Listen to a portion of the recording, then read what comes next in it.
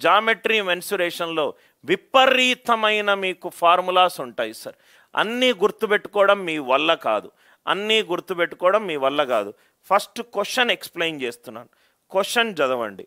A B C D అనేది ఒక చతురస్రము అంటే స్క్వయర్ ఇది ఏ ఇది బి ఇది సి ఇది D A B D C చతురస్రాకారంలో D మరియు సి నుంచి కేంద్రాలతో ఆర్క్ ఓకే.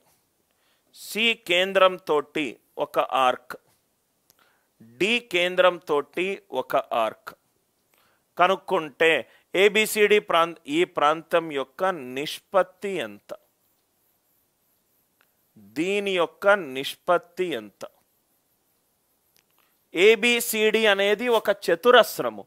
ఏబిసిడి చతురస్రంలో సి పాయింట్గా పెట్టుకొని ఒక ఆర్క్ గీసాను ప్రొట్రాక్టర్ తీసుకొని ఇట్లా ఆర్క్ గీసాను డి పాయింట్గా పెట్టుకొని ఇక్కడ ఆర్క్ గీసాను రైట్ మీరు theta by three sixty into pi r స్క్వేర్లు పనికి మాలిన సర్కిల్ ఫార్ములాలు చతురస్రం ఫార్ములాలు అలా మీరు చదివినట్టు అవుతే జామెట్రీ మీకు లైఫ్లో అర్థం కాదు.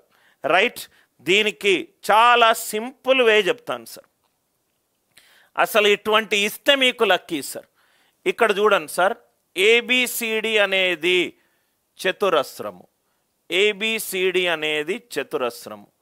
ఏబిసిడి డయాగ్నల్ కనెక్ట్ చేస్తే డయాగ్నల్స్ కనుక కనెక్ట్ అవుతే ఈ రీజియన్ డయాగ్నల్స్ కనుక కనెక్ట్ అవుతే ఈ రీజియన్ ఎగ్జాక్ట్గా వన్ ఫోర్త్ రీజియన్ ఉంటుంది. ఐ రైట్ డయాగ్నల్స్ కనుక ఎగ్జాక్ట్ కనెక్ట్ అవుతాయి ఇక్కడ డయాగ్నల్స్ కాదు కొంచెం ఇది పెరిగింది. ఇది కూడా పెరిగింది. అంటే ఈ వాల్యూ వన్ బై ఫోర్ కంటే ఎక్కువ ఉంటుంది. ఈ వాల్యూ వన్ బై ఫోర్ కంటే ఎక్కువ ఉంటుంది. అయిపోయింది ఆన్సర్ ఈ వాల్యూ వన్ బై ఫోర్ కంటే ఎక్కువ ఉంటుంది. వన్ బై ఫోర్ కంటే ఎక్కువ ఉంటుంది. అదే మొత్తం చతురస్రాన్ని మొత్తాన్ని షేడ్ చేస్తే మొత్తానికి మొత్తం షేడ్ చేస్తే దాని వాల్యూ ఎంత? ఒకటి. కానీ ఇక్కడ మొత్తం షేడ్ కాలేదు.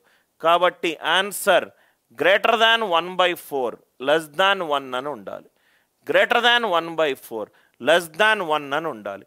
పై value ఎక్కడొచ్చినా three point one four substitute చేసుకోండి. Pi value ఎక్కడొచ్చినా three point one four substitute చేసుకోండి. Are you all with me? దీనికి ఫార్ములా లేదయ్యా. రైట్. ఎవడని చూస్తే నవ్వుతాడు. ఈ చతురస్రము డయాగ్నల్స్ గనక కనెక్ట్ అవుతే ఈ రీజన్ ఎంత అవుతుంది sir?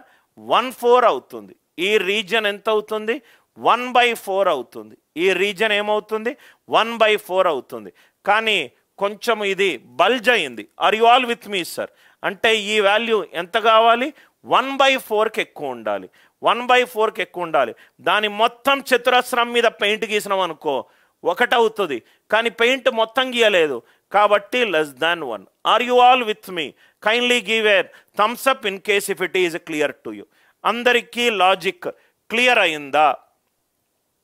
Everybody is it clear మొత్తము అన్ని టాపిక్లు కొంతమంది టీచర్లు నేను అరిథమెటిక్ ఫేమ్ అంటారు. Right number system arithmetic algebra geometry permutation combination probability set theory reasoning data interpretation data sufficiency అన్నీ చెప్పగలుగుతాం. ఎందుకంటే అన్నిటికీ కావాల్సింది బేసిక్ కామన్ సెన్సే దాని ప్రాబ్లంని ప్రాబ్లం లాగా చూడకుండా లాజికల్గా చూస్తే ఆన్సర్ వచ్చేస్తుంది. లాజికల్గా చూస్తే ఆన్సర్ వచ్చేస్తుంది.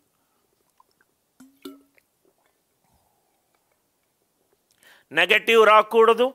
పాయింట్ వన్ బై ఫోర్ కంటే ఎక్కువ ఉండాలి. వన్ కంటే తక్కువ ఉండాలి. వన్ కంటే తక్కువ ఉండాలి. రైట్ దయచేసి మీ ఫ్రెండ్స్ ఎవరైనా యాప్టిట్యూడ్కి ప్రిపేర్ అవుతూనే ఉంటే దయచేసి ఈ వీడియోలు చూడమని చెప్పండి. ఆగస్ట్ ఇరవై ఎనిమిదో తారీఖు కానిస్టేబుల్ ఎగ్జామ్ ఉంది.